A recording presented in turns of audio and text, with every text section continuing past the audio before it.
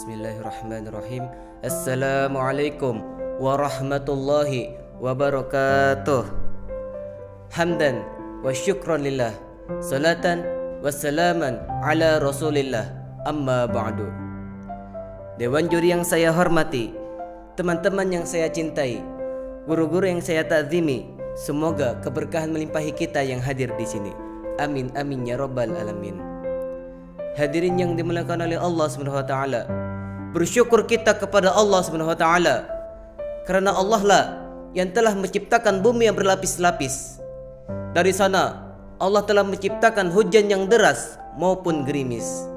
Bahkan Allah telah menciptakan manusia yang sangat eksotis. Rambutnya bergelombang bagikan ukiran keris. Alis matanya rapih laksanakan semut yang berbaris-baris. Bulu matanya lentik aduh sungguh indahnya untuk dilukis.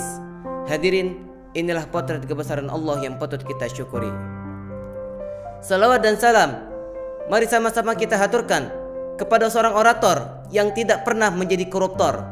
Seorang orator yang tidak pernah menaiki sepeda motor. Seorang orator yang membawa kita dari zaman unta ke zaman kuda sampai zamannya mobil Toyota. Yang membawa kita dari pahitnya perang badar menuju nikmatnya telur dadar. Tiada lain dan tidak bukan Habibana wa Nabina Muhammad sallallahu alaihi wasallam. Hadirin yang dimuliakan oleh Allah SWT Tidak punya pacar bukan menjadi sebuah masalah Hai teman-teman, apa kabar kalian semua? Sehat? Alhamdulillah Berdirinya saya di sini ingin menyampaikan sebuah pidato yang berjudul Postinganmu adalah surga atau nerakamu Teman-teman yang dimuliakan oleh Allah SWT Arus globalisasi begitu menggema, terutama di dalam bidang komunikasi, di mana manusia satu dengan manusia lainnya sangat mudah untuk berkomunikasi, saya katakan tanpa adanya jarak dan sekat. Di sanalah tantangan begitu besar, terutama yang berkaitan dengan media sosial. Kita bebas berpendapat, bebas berbicara, bebas mengungkapkan perasaan kita.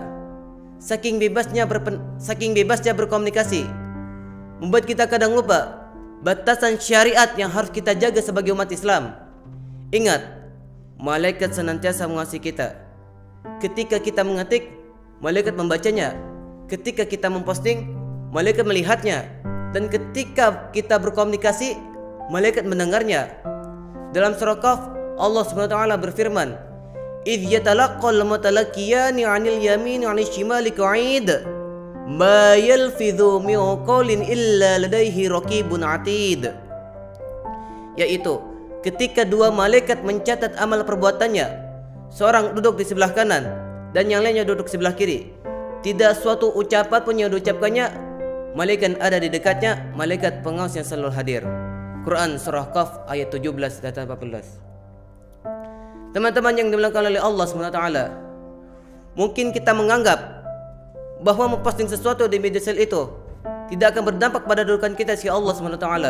Demi Allah, justru postingan kita di media sosial itu bisa berdampak sekali, bahkan melebihi apa yang diucapkan di luar media sosial. Bahkan, postingan kita di media sosial itu bisa menentukan nasib kita di akhirat kelak, apakah kita akan masuk surga atau neraka. Teman-teman yang dimuliakan oleh Allah SWT, postingan yang akan mengangkat derajat kita di sisi Allah SWT adalah postingan yang bermanfaat untuk orang lain, menyebarkan dakwah, menyampaikan nasihat-nasihat ulama, memotivasi orang lain dan lain sebagainya. Apalagi jika kita bisa menyampaikan sebuah ilmu di media sosial, maka itu akan menjadi amal ibadah yang pahalanya terus mengalir hingga kita wafat selama mas itu masih ada di dalamnya.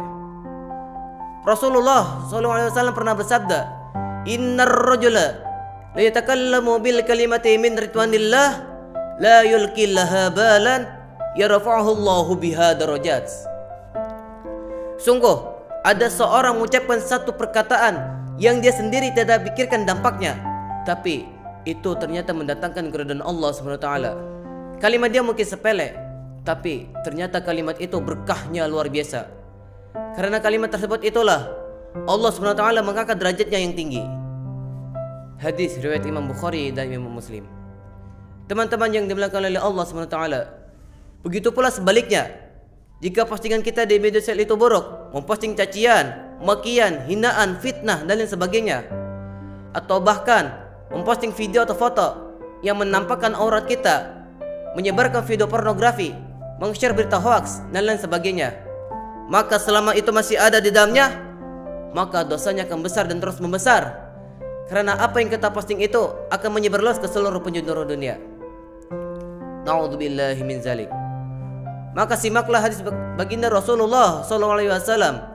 Innar rajula la yatakallamu min sakhatillah la yulqi laha balan yahwi biha fi jahannam. Sungguh ada seorang mengucapkan satu kalimat yang ternyata kalimat itu mendatangkan kemurkaan Allah. Dia tidak peduli, dia nggak bisa-bisa saja, tapi dampak buruknya sangat besar. Karena kalimat tersebut itulah dia dijerumuskan ke dalam api neraka jahanam. Hadis riwayat Imam Bukhari dan Imam Muslim. Teman-teman yang dimuliakan oleh Allah Subhanahu wa taala, mari kita berakhlak di media sosial, beradab dan tunjukkanlah bahwa kita adalah pemuda Islam yang menjunjung tinggi nilai moral dan etika, baik itu dunia nyata maupun dunia maya. Demikianlah tausiah yang bisa saya sampaikan.